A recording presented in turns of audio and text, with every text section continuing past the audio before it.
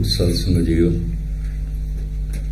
ਗੁਰਦੇਵ ਦੀ ਸਨਮਰ ਫਤਿਹ ਪ੍ਰਵਾਨ ਕਰਨੇ ਵਾਹਿਗੁਰੂ ਜੀ ਕਾ ਖਾਲਸਾ, ਵਾਹਿਗੁਰੂ ਜੀ ਕੀ ਫਤਿਹ। ਗਾਥਾ ਦੇ ਇੱਕ ਸ਼ਲੋਕ ਦੀ ਵਿਚਾਰ ਦਾਸ ਨੇ ਕੱਲ ਆਰੰਭ ਕੀਤੀ ਸੀ। ਧੰਨ ਗੁਰੂ ਗ੍ਰੰਥ ਸਾਹਿਬ ਜੀ ਮਹਾਰਾਜ ਦੇ ਚ ਇਹ ਬਾਣੀ ਗੁਰੂ ਅਰਜਨ ਦੇਵ ਜੀ ਮਹਾਰਾਜ ਦੀ ਇਹ ਸੰਸਕ੍ਰਿਤ ਦੇ ਚ ਹੈ। ਰਾਗਾਂ ਤੋਂ ਬਿਨਾ।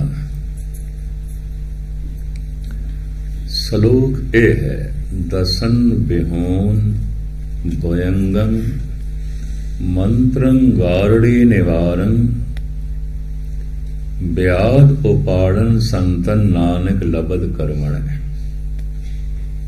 ਅਖਰੀ ਅਰਥ, ਜੈਸੇ ਮੰਤਰੀ, ਪੰਜਾਬੀ ਚ ਕਹਿੰਦੇ ਨੇ ਮਾਂਦਰੀ, ਸਿਆਣਾ। ਜਿਹਦਾ ਮੰਤਰ ਚੱਲਦਾ ਜਿਹਦਾ ਬੋਲ ਚੱਲਦਾ ਜਿਹਨੇ ਕੋਈ ਮੰਤਰ ਸਿੱਧ ਕੀਤਾ ਗਾਰੜੀ ਮੰਤਰ ਦਾ ਜਪ ਕਰਕੇ ਸੱਪ ਨੂੰ ਦੰਦਾਂ ਤੋਂ ਬਿਨਾ ਕਰ ਦਿੰਦਾ ਹੈ, ਸੱਪ ਦੀ ਜ਼ਹਿਰ ਲਾ ਦਿੰਦਾ ਹੈ। ਅਖਰੀ ਅਰਥ ਦਸਨ ਦੰਦਾਂ ਨੂੰ ਕਹਿੰਦਾ ਦਸਨ ਬਿਹੋਨ ਭਯੰਗੰ ਮੰਤਰੰ ਗਾਰੜੀ ਨਿਵਾਰੰ, ਬਿਆਦ ਉਪਾੜਨ ਸੰਤਨ ਨਾਨਕ ਲਬਦ ਕਰਮਣੇ ਕੋਈ ਵਿਰਲੇ ਇਸ ਤਰ੍ਹਾਂ ਦੇ ਸੰਤ ਜਨ ਨੇ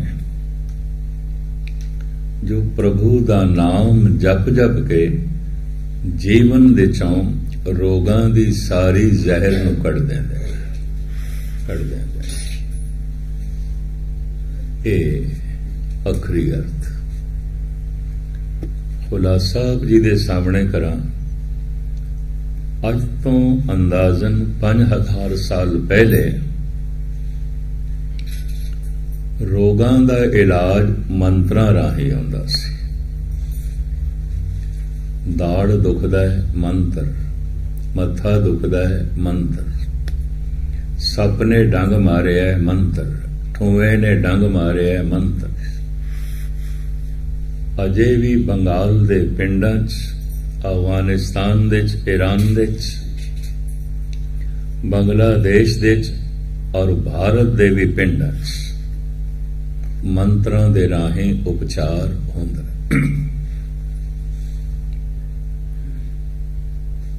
ਮੰਤਰ ਬੋਲ ਨੂੰ ਕਹਿੰਦੇ ਨੇ, ਜਿਹਦਾ ਵਾਕ ਖਾਲੀ ਨਾ ਜਾਏ, ਜਿਹਦਾ ਬੋਲ ਖਾਲੀ ਨਾ ਜਾਏ ਜਿਹਦਾ ਮੰਤਰ ਖਾਲੀ ਨਾ ਜਾਏ, ਉਹਨੂੰ ਕਹਿੰਦੇ ਨੇ ਮੰਤਰੀ। ਪੰਜਾਬੀ ਚ ਕਹਿੰਦੇ ਨੇ ਮਾਂਦਰੀ। ਕਿਸੇ ਇੱਕ ਤਰ੍ਹਾਂ ਦੇ ਵਿਸ਼ੇਸ਼ ਬੋਲ ਦੇ ਚ, ਵਾਕ ਦੇ ਚ, ਸ਼ਬਦ ਦੇ ਚ, ਮੰਤਰ ਦੇ ਚ, ਆਪਣੇ ਮਨ ਨੂੰ ਇਕਾਗਰ ਕਰਕੇ ਜਪੀ ਜਾਣਾ ਜਪੀ ਜਾਣਾ ਜਪੀ ਜਾਣਾ। ਮਨ ਦੀ ਇਕਾਗਰਤਾ ਕਰਕੇ ਵਾਕ ਸਿੱਧ ਹੋ ਜਾਂਦਾ ਹੈ, ਮੰਤਰ ਸਿੱਧ ਹੋ ਜਾਂਦਾ ਹੈ। ਫਿਰ ਇਸ ਤਰ੍ਹਾਂ ਦੇ ਪੁਰਸ਼ ਨੂੰ ਕਹਿੰਦੇ ਨੇ ਮੰਤਰੀ ਮੰਤਰੀ, ਫਿਰ ਉਸ ਦਾ ਮੰਤਰ ਚੱਲਦਾ ਹੈ। ਮੰਤਰ ਨੂੰ ਸਿੱਧ ਕਰਨ ਦੇ ਵਿੱਚ ਕਿਸੇ ਦਾ ਸਾਲ ਲੱਗ ਜਾਂਦਾ ਸੀ, ਕਿਸੇ ਦੇ 5 ਸਾਲ, ਕਿਸੇ ਦੇ 10 ਸਾਲ। ਕਿਉਂਕਿ ਮਨ ਨੂੰ ਇਕਾਗਰ ਕੀਤੇ ਬਿਨਾ ਮੰਤਰ ਸਿੱਧ ਨਹੀਂ ਹੁੰਦਾ। ਤੇ ਅੰਦਰ ਪੂਰਨ ਤੌਰ ਤੇ ਭਰੋਸਾ ਵੀ ਨਾ ਹੋਵੇ ਤੇ ਮੰਤਰ ਸਿੱਧ ਨਹੀਂ ਹੁੰਦਾ। ਫਿਰ ਮੰਤਰ ਕਿਸੇ ਇੱਕ ਹੀ ਰੋਗ ਤੇ ਕੰਮ ਆਉਂਦਾ ਸੀ। ਅਗਰ ਦਾੜ ਦਾ ਮੰਤਰ ਸਿੱਧ ਕੀਤਾ ਹੈ ਤਾਂ ਸਿਰਫ ਦਾੜ ਤੇ ਹੀ ਕੰਮ ਆਉਂਦਾ ਸੀ। ਠੂਏ ਦਾ ਮੰਤਰ ਸਿੱਧ ਕੀਤਾ ਸੀ ਤਾਂ ਸਿਰਫ ਠੂਏ ਤੇ ਹੀ ਕੰਮ ਕਰਦਾ ਸੀ। ਜਾਂ ਸੱਪ ਦਾ ਗਾਰੜੀ ਮੰਤਰ ਜੋ ਗੁਰੂ ਅਰਜਨ ਦੇਵ ਜੀ ਮਹਾਰਾਜ ਉਸ ਮੰਤਰ ਦਾ ਨਾਮ ਵੀ ਦੱਸਦੇ ਨੇ, ਰਾਜਸਥਾਨ ਦੇ ਸਪੇਰੇ ਉਸ ਨੂੰ ਗਾਰੜੀ ਮੰਤਰ ਕਹਿੰਦੇ ਨੇ। ਦਸਨ ਬਿਹੋਨ ਭਯੰਗੰ ਮੰਤਰੰ ਗਾਰੜੇ ਨਿਵਾਰੰ ਬਿਆਦ ਉਪਾੜਨ ਸੰਤਨ ਨਾਨਕ ਲਬਦ ਕਰਮਣ। ਜਿਸ ਤਰ੍ਹਾਂ ਮਾਂਦਰੀ ਗਾਰੜੀ ਮੰਤਰ ਨੂੰ ਪੜ ਕੇ ਸੱਪ ਨੂੰ ਸੁਣ ਕਰ ਦਿੰਦਾ ਉਹਦੇ ਦੰਦ ਕੱਢ ਦਿੰਦਾ ਔਰ ਜਦ ਉਸਨੇ ਕਿਸੇ ਨੂੰ ਡੰਗ ਮਾਰਿਆ, ਉਹਦੀ ਜ਼ਹਿਰ ਲਾ ਦਿੰਦਾ ਵਿਆਜ ਉਪਾਰਨ ਸੰਤਨ ਨਾਨਕ ਲਬਦ ਕਰਮਣ। ਖੁਲਾਸਾ, ਪ੍ਰਾਚੀਨ ਕਾਲ ਵਿੱਚ ਇਲਾਜ ਮੰਤਰਾਂ ਦੇ ਰਾਹੀਂ ਹੁੰਦਾ ਸੀ। ਔਰ ਮੰਤਰੀ ਹਰ ਸ਼ਹਿਰ ਦੇ ਵਿੱਚ ਨਹੀਂ ਆਉਂਦੇ ਸਨ, ਹਰ ਪਿੰਡ ਦੇ ਵਿੱਚ ਨਹੀਂ ਆਉਂਦੇ ਸਨ। ਕਿਸੇ ਨੂੰ ਕੁਝ ਹੋ ਗਿਆ ਤਾਂ ਉਸ ਸ਼ਹਿਰ ਦੇ ਵਿੱਚ, ਉਸ ਪਿੰਡ ਦੇ ਵਿੱਚ ਜਾਣਾ ਪੈਂਦਾ ਸੀ। ਮੰਤਰ ਸਿੱਧ ਕਰਨ ਦੇ ਵਿੱਚ ਵੀ ਬੜਾ ਟਾਈਮ ਲੱਗਦਾ ਸੀ। 2-4 ਸਾਲ 5-10 ਸਾਲ। ਫਿਰ ਮੰਤਰ ਕੰਮ ਵੀ ਕਿਸੇ ਇੱਕ ਹੀ ਰੋਗ ਤੇ ਆਉਂਦਾ ਸੀ। ਤੇ ਕੰਮ ਵੀ ਤਾਂ ਕਰਦਾ ਸੀ। ਰੋਗੀ ਦਾ ਵੀ ਉਸ ਮੰਤਰ ਦੇ ਵਿੱਚ ਵਿਸ਼ਵਾਸ ਹੋਵੇ, ਜੈਸੇ ਅੱਜ ਵੀ ਅਸੀਂ ਦੇਖਦੇ ਹਾਂ। ਅੱਧਾ ਹੀ ਕੰਮ ਦਵਾਈ ਕਰਦੀ ਹੈ ਡਾਕਟਰ ਦੀ, ਅੱਧਾ ਮਰੀਜ਼ ਦਾ ਭਰੋਸਾ ਕੰਮ ਕਰਦਾ ਹੈ। ਅਗਰ ਮਰੀਜ਼ ਨੂੰ ਭਰੋਸਾ ਨਹੀਂ ਹੈ ਵਿਸ਼ਵਾਸ ਨਹੀਂ ਹੈ ਤਾਂ ਡਾਕਟਰ ਦੀ ਔਸ਼ਧੀ ਵੀ ਕੰਮ ਨਹੀਂ ਕਰਦੀ ਇਹ ਵੀ ਮੈਂ ਅਰਜ਼ ਕਰਦਾ ਇਸ ਵਾਸਤੇ ਡਾਕਟਰ ਦੀ ਪਹਿਲੇ ਕੋਸ਼ਿਸ਼ ਹੁੰਦੀ ਹੈ ਵਿਸ਼ਵਾਸ ਜਮਾਉਣ ਦੀ ਤੇ ਉਹਨੂੰ ਇਹ ਵੀ ਦੱਸਣਾ ਹੈ ਰੋਗੀ ਨੂੰ ਵੀ ਤੈਨੂੰ ਮਾਮੂਲੀ ਜਿਹਾ ਰੋਗ ਹੈ ਭਾਵੇਂ ਵੱਡਾ ਹੋਵੇ ਛੇਤੀ ਠੀਕ ਹੋ ਜਾਏਗਾ ਤਾਂ ਕਿ ਉਸ ਨੂੰ ਵਿਸ਼ਵਾਸ ਹੋਵੇ ਨਿਸ਼ਚਾ ਵਿਧੀ ਪੁਰਾਣੇ ਮੰਤਰੀਆਂ ਨੇ ਵੀ ਇਹੀ ਅਪਣਾਈ ਹੋਈ ਸੀ। ਇਸ ਦਾ ਮੈਨੂੰ ਥੋੜਾ ਜਿਹਾ ਜ਼ਾਤੀ ਵੀ ਤਜਰਬਾ ਹੈ। ਜੰਮੂ ਸ੍ਰੀ ਗੁਰੂ ਸਿੰਘ ਸਭਾ ਦੀ ਗੱਲ ਹੈ। 10 ਹਰ ਸਾਲ ਉਥੇ 6ਵੇਂ ਪਾਤਸ਼ਾਹ ਦੇ ਪ੍ਰਕਾਸ਼ ਉਤਸਵ ਤੇ ਜਾਂਦਾ ਰਿਹਾ ਸ੍ਰੀਨਗਰ ਜੰਮੂ।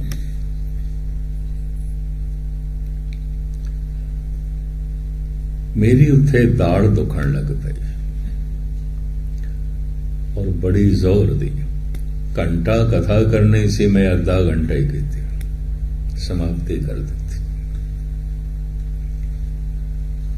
ਸ਼੍ਰੀ ਗੁਰੂ ਸਿੰਘ ਸਭਾ ਦੇ ਥੱਲੇ ਦੁਕਾਨਾਂ ਨੇ ਮਾਰਕੀਟ ਹੈ ਗੁਰਦੁਆਰੇ ਦੀ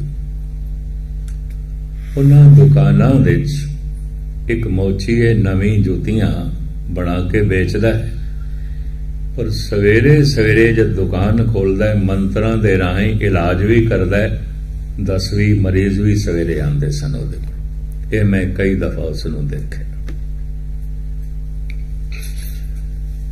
ਜਿਸ ਦਿਨ ਮੇਰੀ ਦਾੜ ਦੁਖਦੀ ਸੀ ਤੇ ਮੈਂ ਕਥਾ ਪੂਰੀ ਨਾ ਕੀਤੀ, ਮੇਰੇ ਕਮਰੇ ਚ ਆ ਗਿਆ। ਕਹਿੰਦਾ, ਮਸਕੀਨ ਜੀ ਸੁਣਿਆ, ਤੁਹਾਡੀ ਦਾੜ ਦੁਖਦੀ ਹੈ? ਮੈਂ ਕਿ ਦੁਖਦੀ ਹੈ। ਬੜੀ ਜ਼ੋਰ ਦੀ। ਮੈਂ ਕਿਹਾ ਦੋ ਤਿੰਨ ਦਿਨ ਦੀ ਦੁਖ ਰਹੀ ਹੈ ਪਰ ਅੱਜ ਜ਼ਿਆਦਾ। ਡਾਕਟਰ ਕੋਲ ਗਿਆ ਸੀ, ਕਹਿੰਦਾ ਸੀ ਕੱਢਣੀ ਪੈਣੇ। ਪਰ ਮੈਂ ਆਖਿਆ, ਗੁਰਪੁਰਬ ਲੰਘ ਜਾਣ ਦੇ ਫਿਰ ਦੇਖਾਂਗੇ। ਮੈਨੂੰ ਕਹਿਣ ਲੱਗਾ, ਕਢਾਉਣ ਦੀ ਲੋੜ ਨਹੀਂ। ਆਪਾਂ 5 ਮਿੰਟਾਂ ਠੀਕ ਕਰ ਦੇਣੇ ਮੈਂ ਕਰ ਦੇ ਉਹ ਕੁਝ ਪੜਦਾ ਰਿਹਾ। ਤੇ ਫੋਕ ਮਾਰੀ, ਮੈਨੂੰ ਕਹਿੰਦਾ ਹੈ, ਮਸਕਿਨ ਜੀ, ਹੁਣ ਆਰਾਮ ਆ ਗਿਆ ਹੋਣਾ ਮੈਂ ਕਿਹਾ, ਨਹੀਂ, ਕੋਈ ਆਰਾਮ ਨਹੀਂ ਆਇਆ। ਉਸੇ ਤਰ੍ਹਾਂ ਹੀ ਪੀੜਾ ਹੈ ਉਹਨੇ ਫਿਰ ਪੜਨਾ ਸ਼ੁਰੂ ਕੀਤਾ ਤੇ ਟਾਈਮ ਵੀ ਲਾਇਆ। ਕਹਿਣ ਲੱਗਾ, ਹੁਣ ਤੇ ਬਿਲਕੁਲ ਠੀਕ ਹੋ ਗਏ ਹੋ ਗਏ ਹੋ ਗਏ। ਮੈਂ ਕਹਿੰਦਾ ਪਹਿਲੇ ਨਾਲੋਂ ਵੀ ਵੱਧ ਗਈ। ਪਤਾ ਉਸਨੇ ਮੈਨੂੰ ਕੀ ਆਖਿਆ? ਤੁਹਾਡਾ ਮੇਰੇ ਤੇ ਭਰੋਸਾ ਨਹੀਂ ਪਿਆ ਬਜਦਾ ਤੁਹਾਡਾ ਮੇਰੇ ਤੇ ਵਿਸ਼ਵਾਸ ਨਹੀਂ ਪਿਆ ਬਜਦਾ ਮੇਰਾ ਮੰਤਰ ਕੰਮ ਨਹੀਂ ਕਰਦਾ। ਮਰੀਜ਼ ਦਾ ਭਰੋਸਾ ਨਾ ਹੋਵੇ, ਮੰਤਰ ਕੰਮ ਨਹੀਂ ਕਰਦਾ। ਮੈਂ ਕਿ ਮੈਨੂੰ ਇਸ ਦੀ ਸਮਝ ਹੈ। ਪਰਮਾਤਮਾ ਦਾ ਨਾਮ ਮਹਾ ਮੰਤਰ ਹੈ। ਅਗਰ ਭਰੋਸਾ ਨਾ ਹੋਵੇ ਤੇ ਉਹ ਵੀ ਨਹੀਂ ਕੰਮ ਕਰਦਾ। ਜਾਂ ਕੇ ਹਿਰਦੇ ਵਿਸ਼ਵਾਸ ਪ੍ਰਭ ਆਇਆ, ਤਤ ਗਿਆਨ ਤੇ ਸਮਨ ਪ੍ਰਗਟ ਆਇਆ। ਅੰਦਰ ਭਰੋਸਾ ਹੈ, ਭਾਵਨਾ ਹੈ ਤੇ ਜਪ ਰਿਹਾ ਹੈ। ਉਸੇ ਇੱਕ ਛਿਨ ਦੇ ਵਿੱਚ ਉਸ ਮੰਤਰ ਨੇ ਸਿੱਧ ਹੋ ਜਾਣਾ ਚਾਨਣਾ ਕਰ ਦੇਣਾ ਹੈ, ਪ੍ਰਕਾਸ਼ ਕਰ ਦੇਣਾ ਹੈ ਔਰ ਸਾਰੇ ਰੋਗਾਂ ਦੀ ਨਿਵਰਤੀ ਕਰ ਦੇਣੀ ਹੈ। ਸਰਬ ਰੋਗ ਕਾ ਔਖਦ ਨਾ ਮੈਂ ਉਹਨੂੰ ਕਿਹਾ, ਭਰੋਸਾ ਐਵੇਂ ਵੱਜਦਾ ਹੈ? ਮੈਂ ਭਰੋਸਾ ਵੱਜ ਜਾਏ।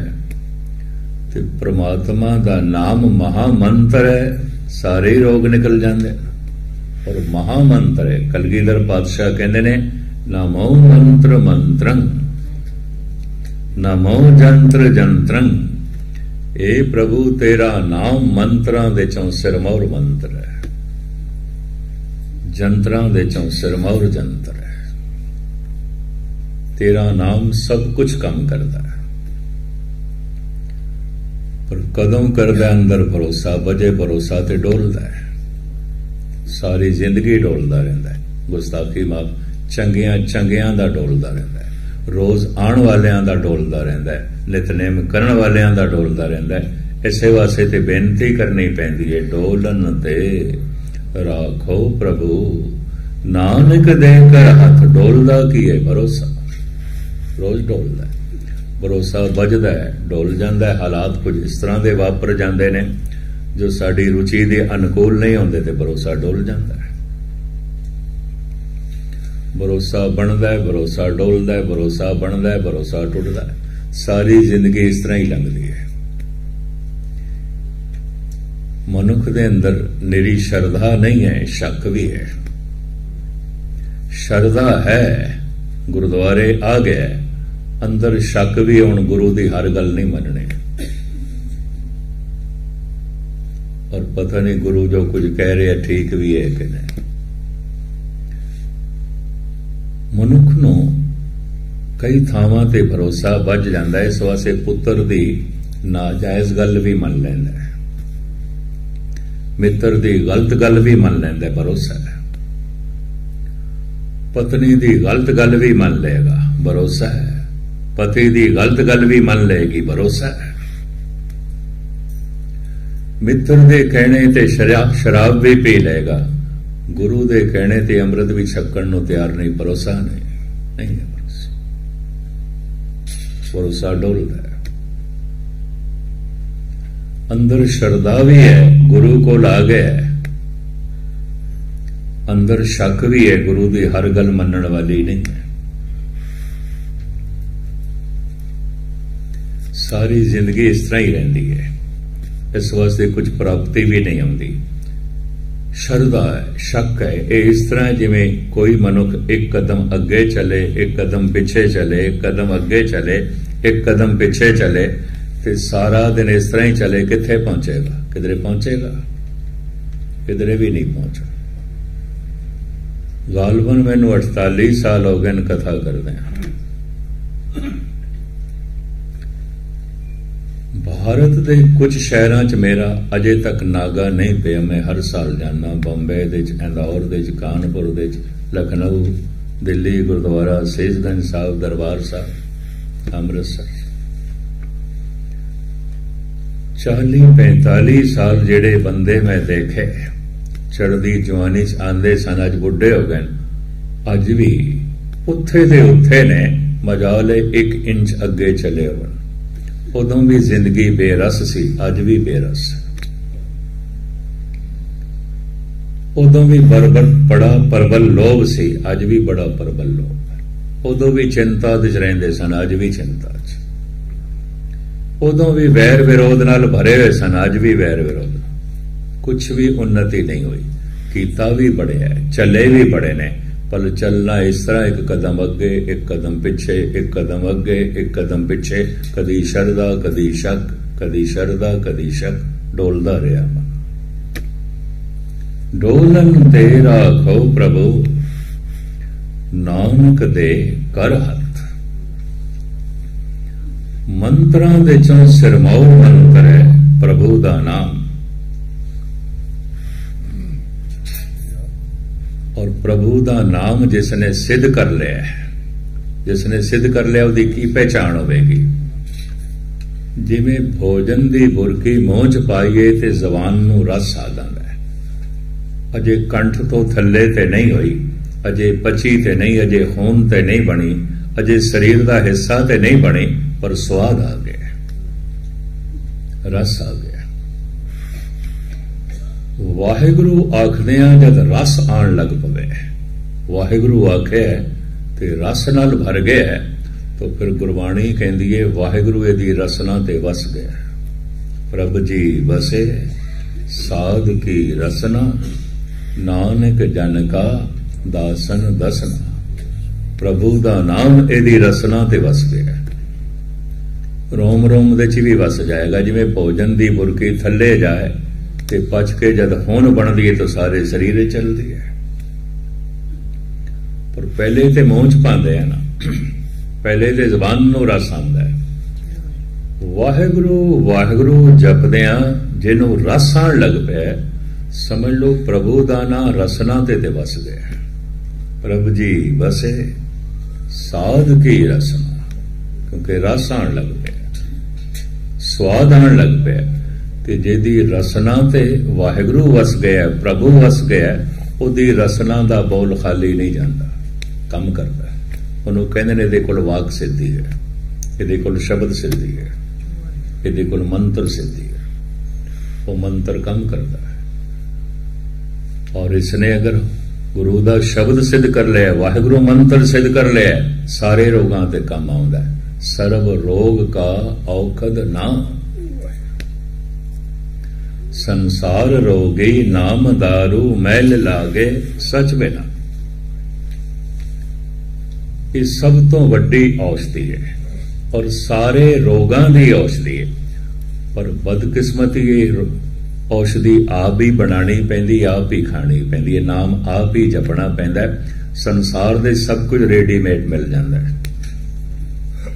ਬਣਾ ਬਣਾਇਆ ਭੋਜਨ ਰੈਸਟੋਰੈਂਟ ਤੋਂ ਮਿਲ ਜਾਏਗਾ ਸਿਲੇ ਸਿਲਾਏ ਕੱਪੜੇ ਰੈਡੀਮੇਡ ਕੱਪੜੇ ਮਿਲ ਜਾਣਗੇ ਬਣਾ ਬਣਾਇਆ ਮਕਾਨ ਮਿਲ ਜਾਏਗਾ ਸਾਜ਼ੋ ਸਮਾਨ ਮਿਲ ਜਾਏਗਾ ਬਣਾ ਬਣਾਇਆ ਮਿਲ ਜਾਂਦਾ ਪੈਸਿਆਂ ਨਾਲ ਪਰ ਮੈਂ ਅਰਜ਼ ਕਰਾਂ ਪੈਸਿਆਂ ਨਾਲ ਜਪਿਆ ਜਪਾਇਆ ਨਾਮ ਨਹੀਂ ਮਿਲ ਸਕਦਾ ਨਹੀਂ ਮਿਲ ਸਕਦਾ ਆਪ ਜਪਣਾ ਪੈਂਦਾ ਆਪਣਾ ਹੱਥੀ ਆਪਣਾ ਆਪੇ ਹੀ ਕਾਜ ਨਹੀਂ ਮਿਲ ਸਕਦਾ ਅਗਰ ਮਿਲ ਸਕਦਾ ਤਾਂ ਸੰਸਾਰ ਦੇ ਸਿਰਫ ਇੱਕੋ ਹੀ ਅਵਤਾਰ ਦੀ ਲੋੜ ਸੀ, ਉਹਨਾਂ ਸਾਰਿਆਂ ਨੂੰ ਦੇ ਦੇਣਾ ਸੀ।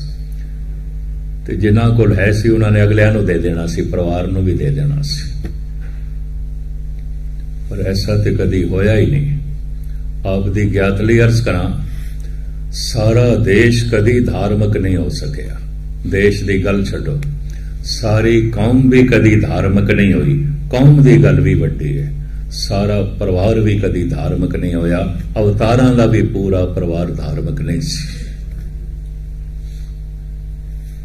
ਦੋ ਚਾਰ ਮੈਂ ਉਦਾਹਰਣ ਦਿਆਂ, ਪ੍ਰਹਿਲਾਦ ਧਾਰਮਿਕ ਹੈ, ਉਹਦਾ ਪਿਤਾ ਧਾਰਮਿਕ ਬਿਲਕੁਲ ਨਹੀਂ, ਉਹ ਤੇ ਦੁਸ਼ਟ ਹੈ, ਉਹ ਤੇ ਵੈਰੀ ਹੈ। ਧੰਨ ਗੁਰੂ ਰਾਮਦਾਸ ਜੀ ਮਹਾਰਾਜ, ਗੁਰੂ ਨਾਨਕ ਦੀ ਗੱਦੀ ਦੇ ਵਾਰਿਸ ਨੇ ਚੌਥੇ ਗੁਰੂ ਨਾਨਕ ਉਹਨਾਂ ਦਾ ਲੜਕਾ ਪ੍ਰਿਥੀ ਚੰਦ ਵੱਡਾ। ਸਾਰੀ ਜ਼ਿੰਦਗੀ ਪਹਿਲੇ ਗੁਰੂ ਰਾਮਦਾਸ ਜੀ ਨਾਲ ਝਗੜਦਾ ਰਿਹਾ, ਫਿਰ ਗੁਰੂ ਅਰਜਨ ਦੇਵ ਜੀ ਨਾਲ ਝਗੜਦਾ ਰਿਹਾ। ਧੰਨ ਗੁਰੂ ਰਾਮਦਾਸ ਜੀ ਮਹਾਰਾਜ ਨੂੰ ਕਹਿਣਾ ਵੀ ਪਿਆ, ਕਾਹੇ ਪੂਤ ਝਗੜਤ ਹੋ ਸੰਗ ਬਾਪ, ਪੰਕਤੀ ਹੈ। ਕਾਹੇ ਪੂਤ ਝਗੜਤ ਹੋ ਸੰਗ ਬਾਪ ਜਿਨ ਕੇ ਜਨੇ ਬਡੇਰੇ ਤੁਮ ਹੋ ਤਿਨ ਸੋ ਝਗੜਤ ਪਾਪ। ਤੇ ਪਾਪ ਕਰਨਾ ਕਿਉਂ ਕਰਨਾ ਪਿਓ ਨਾਲ ਝਗੜਨਾ ਪਿਤਾ ਵਕਤ ਦਾ ਅਵਤਾਰ ਹੈ ਇਹ ਵੱਡਾ ਸਾਹਿਬਜ਼ਾਦਾ ਕੁਝ ਵੀ ਨਹੀਂ। ਇਹ ਵੀ ਮੈਂ ਅਰਜ਼ ਕਰਦੇ ਰਾਮ ਵਕਤ ਦੇ ਅਵਤਾਰ ਨੇ ਉਹਨਾਂ ਦੀ ਮਤਰੇਈ ਮਾਂ ਕਹਿ ਕਈ ਕੁਝ ਵੀ ਨਹੀਂ, ਉਹਨੇ ਤੇ 14 ਸਾਲ ਦਾ ਬਨਵਾਸ ਦੇ ਦਿੱਤਾ। ਸ੍ਰੀ ਕ੍ਰਿਸ਼ਨ ਵਕਤ ਦੇ ਅਵਤਾਰੀ ਪੁਰਸ਼ ਨੇ ਉਹਨਾਂ ਦਾ ਮਾਮਾ ਕੰਸ ਉਹਨਾਂ ਦੀ ਜਾਨ ਦਾ ਵੈਰੀ ਹੈ। ਅਵਤਾਰਾਂ ਦਾ ਵੀ ਸਾਰਾ ਪਰਿਵਾਰ ਧਾਰਮਿਕ ਨਹੀਂ ਹੋਇਆ, ਕਦੀ ਨਹੀਂ ਹੋਇਆ। ਮੀਰਾ ਧਾਰਮਿਕ ਹੈ, ਉਹਦਾ ਪਤੀ ਧਾਰਮਿਕ ਨਹੀਂ ਸੀ। ਉਹਨੇ ਘਰੋਂ ਕੱਢ ਦਿੱਤਾ ਸੀ, ਸ਼ਾਇਦ ਜਿਨ੍ਹਾਂ ਨੇ ਇਤਿਹਾਸ ਪੜ੍ਹਿਆ ਹੋਵੇ। ਹਿੰਦੂ ਜਗਤ ਵਿੱਚ ਰਾਜਸਥਾਨ ਦੇ ਅੰਦਰ ਚਿਤੌੜਗੜ ਦੀ ਮਹਾਰਾਣੀ ਮੀਰਾ, ਮਹਾਰਾਣੀ ਸੀ, ਰਾਜੇ ਦੀ ਔਰਤ ਸੀ। ਲੇਕਿਨ ਅੱਠੇ ਪੈਰ ਬੰਦਗੀ ਕਰਦਿਆਂ ਕਰਦਿਆਂ ਸਮਾਧੀ ਲੀਨ ਹੋ ਗਈ। ਚਿਤੌੜ ਦਾ ਰਾਣਾ ਕਹਿਣ ਲੱਗਾ, ਮੈਨੂੰ ਪਤਨੀ ਚਾਹੀਦੀ ਏ ਸੰਤਣੀ ਨਹੀਂ ਚਾਹੀਦੀ। ਘਰੋਂ ਕੱਢ ਦਿੱਤਾ। ਪਹਿਲੇ ਜ਼ਹਿਰ ਦੇ ਕੇ ਮਾਰਨ ਦੀ ਕੋਸ਼ਿਸ਼ ਕੀਤੀ, ਨਹੀਂ ਮਰੀ। ਫਿਰ ਘਰੋਂ ਕੱਢ ਦਿੱਤੀ। ਰਾਜਸਥਾਨ ਦੇ ਜੰਗਲਾਂ ਦੇ ਚ ਧੱਕੇ ਖਾਂਦੀ ਰਹੀ, ਕੋਈ ਸ਼ਹਿਰ ਦੇ ਚ ਨਹੀਂ ਵੜਨ ਦਿੰਦਾ ਸੀ, ਮੰਦਰ ਦੇ ਚ ਨਹੀਂ ਵੜਨ ਦਿੰਦਾ ਸੀ। ਜਿਨ੍ਹਾਂ ਜਿਨ੍ਹਾਂ ਰੁੱਖਾਂ ਥੱਲੇ ਉਸਨੇ ਰਾਤ ਕੱਟੀ, ਰਾਜਸਥਾਨ ਦੇ ਰਜਵਾੜਿਆਂ ਨੇ ਅੱਜ ਵੱਡੇ ਵੱਡੇ ਮੰਦਰ ਬਣਾਏ ਨੇ, ਅੱਜ।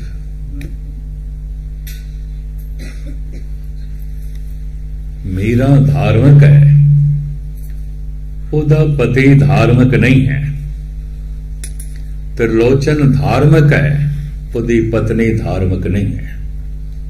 ਤੁਸੀਂ ਗੁਰੂ ਗ੍ਰੰਥ ਸਾਹਿਬ ਜੀ ਮਹਾਰਾਜ ਦੇ ਤਿਰਲੋਚਨ ਦੇ ਬੋਲ ਪੜ ਲਓ। ਉਹ ਅੰਮ੍ਰਿਤ ਵੇਲੇ ਉੱਠ ਕੇ ਪ੍ਰਭੂ ਦਾ ਭਜਨ ਕਰਦਾ ਹੈ। ਸਤਸੰਗੀ ਆ ਜਾਂਦੇ ਨੇ, ਉਹਦੇ ਕੋਲ ਬੈਠਦੇ ਨੇ। ਤੇ ਅੰਮ੍ਰਿਤ ਵੇਲੇ ਉੱਠ ਕੇ ਹੀ ਉਹਦੀ ਪਤਨੀ ਸਤਸੰਗੀਆਂ ਨੂੰ, ਤ੍ਰਿਲੋਚਨ ਨੂੰ ਤੇ ਪਰਮਾਤਮਾ ਨੂੰ ਗਾਲਾਂ ਕੱਢਣੀ ਸ਼ੁਰੂ ਕਰਦੀ ਸ਼ਬਦ ਹੈ, ਤਨਾਸੀ ਰਾਗ ਦੇ ਨਾਰਾਇਣ ਨਿੰਦਸ ਕਾਹੇ ਭੂਲੀ ਗਵਾਰੀ, ਐ ਗਵਾਰ ਇਸਤਰੀ ਕਿਉਂ ਨਾਰਾਇਣ ਦੀ ਨਿੰਦਾ ਕਰਦੀ? ਕਿਉਂ ਪ੍ਰਭੂ? ਸਭ ਕੁਝ ਉਸੇ ਦਾ ਦਿੱਤਾ ਹੈ ਇਹ ਤਨ ਮਨ, ਇਹ ਗਿਆਨ ਅੰਦਰ ਇਹ ਸਭ ਕੁਝ ਉਸੇ ਦਾ ਹੈ। ਇਹ ਸੂਰਜ ਦੀ ਰੋਸ਼ਨੀ, ਇਹ ਵਗਦੀ, ਇਹ ਪਵਨ, ਇਹ ਧਰਤੀ ਸਭ ਕੁਝ ਉਸੇ ਦੀ ਦੇਣ ਹੈ। ਨਾਰਾਇਣ ਨਿੰਦਸ ਕਾਏ ਭੋਲੀ ਗਵਾਰੀ? ਦੁਕਰਤ ਸੁਕਰਤ ਥਾਰੋ ਕਰਮ ਰੇ। ਦੁੱਖ ਸੁੱਖ ਤੇ ਤੇਰੇ ਕਰਮਾਂ ਦਾ ਫਲ ਹੈ, ਤੂੰ ਜੋ ਬੋਇਆ ਉਹ ਖਾਂਦੀ ਹੈ। ਉਹਦੇ ਚ ਨਾਰਾਇਣ ਕੀ ਕਰੇ? ਘਰ ਵਿੱਚ ਔਲਾਦ ਨਹੀਂ ਸੀ, ਦੁਖੀ ਸੀ।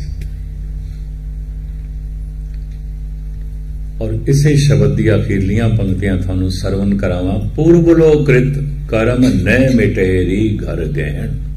ਮੈਂ ਜੋ ਬੀਜ ਚੁੱਕਿਆ, ਮੈਨੂੰ ਖਾਣਾ ਪਏਗਾ। ਆਪ ਬੀਜ, ਆਪ